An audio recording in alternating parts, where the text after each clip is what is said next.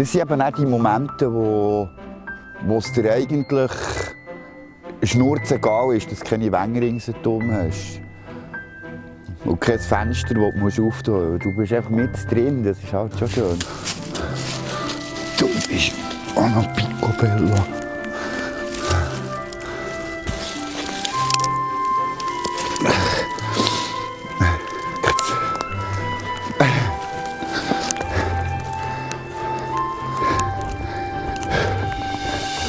Frieli.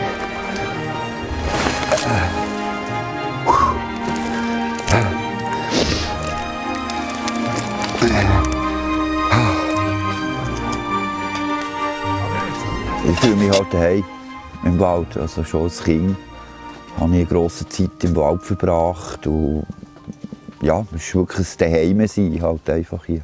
Wir sind uns alle gewöhnt an eine Wohnung, aber irgendwie die Auswirkungen, die eine Wohnung hat auf den Verstand, einfach so das immer drinnen sein, nur kurz rausgehen, man, man sieht das Wetter hier anstatt dort, obwohl es hier Regen zeigt und dort ist Sonne, aber wir schauen hier und oh nein, gehen wir nicht raus.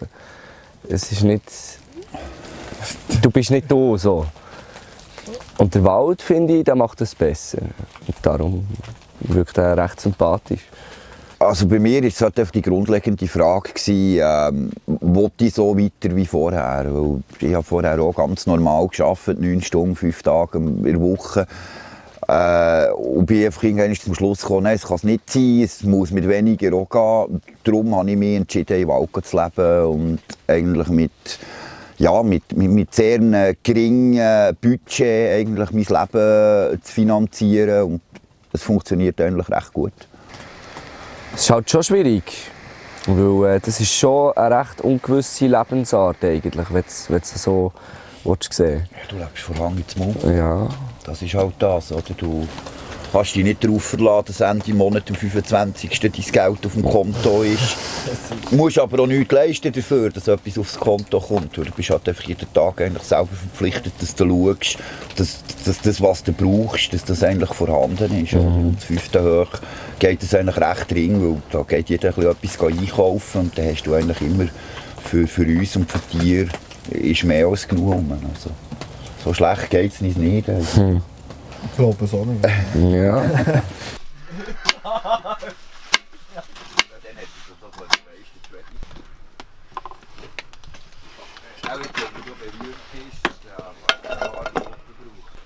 So, Trainingssatz schon vor. Ja, ja, ja. ja. Siegsätze gerne. Gell, richtig? Es gibt schon Leute, die dann sagen, ja, und dann zahlt ihr keine Hundesteuern oder was auch immer. Aber die sind eigentlich eher in, in der Unterzahl. Ja, eigentlich ist der Tenor grundwegs recht, recht positiv. Also, ich glaube, das kommt uns eben auch noch zu gut, weil, weil wir halt einfach selbsttragend sind. Also, wir hocken keinem, keinem staatlichen Unterstützungsprogramm, sei es Sozialamt oder IV oder irgendetwas auf dem, auf dem Portemonnaie. Also wir schauen halt einfach wirklich selber, dass wir eigentlich das, was wir zum Leben brauchen, auch irgendwie selber können erwirtschaften können. Ich finde es eine sehr prägende Veränderung. Es ist nicht wie ein neuer Job oder so, es ist schon Du lernst fürs Leben. tiefgründiger.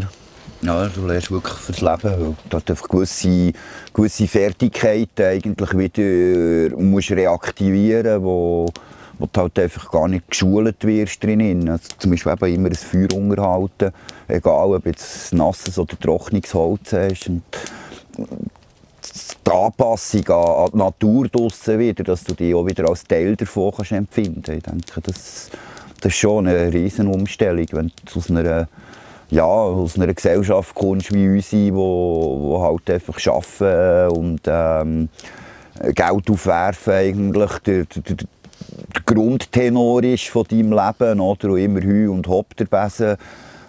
Und dann gehst du plötzlich so in die Ruhe zurück und kannst schon wieder dir selber sein. Also du hast eben auch Zeit für, für dich mit dir selber als, als Person und als Mensch können auseinandersetzen oder? Im, im Kontext zur, zur Natur. Und ja, ist back to the roots eigentlich.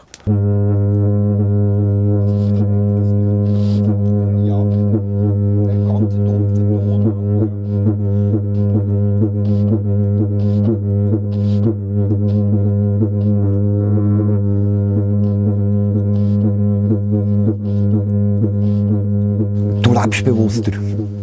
Also du, hast, hast viel eher mal eins wieder, ähm, dass du gewisse Sachen richtig fast schätzen. Also wenn du mal irgendwo bei einem Kollegen oder bei einer Kollegin oder bei Bekannten mal kannst du eine Dusche nehmen, du schätzt das dann auch viel mehr, weil es halt einfach nicht Standard ist, es gehört nicht dazu. Und es macht ja ein bisschen demütig, habe ich das Gefühl, wenn du dann eben so eins zu eins von außen lebst, weil du halt einfach eben ein warmes Feuer, ein heisses Kaffee, ähm, plötzlich ganz einen anderen Stellenwert bekommt von der Bedeutung her, als wenn du daheim irgendwie dann, äh, zum Bett ausschnackst, schnell in die Küche gehst, Kaffeemaschinen anwirfst und so. Ja, ich finde es angenehmer. Du hast mehr vom Leben.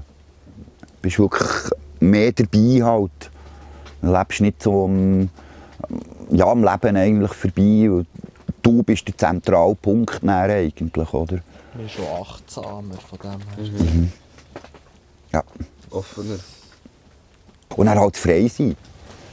Du bist halt einfach unabhängig, also sehr, ähm, ich sage es jetzt mal so, nicht hundertprozentig, aber sicher zu 80 Prozent selbstbestimmt. Du bist halt einfach immer noch das Kind der Gesellschaft, ob du jetzt so lebst oder nicht du gehörst dort immer noch dazu. Oder? Aber du hast, du hast viel mehr Selbstbestimmung über die, die Zeiteinteilung. Mache ich etwas, habe mich still.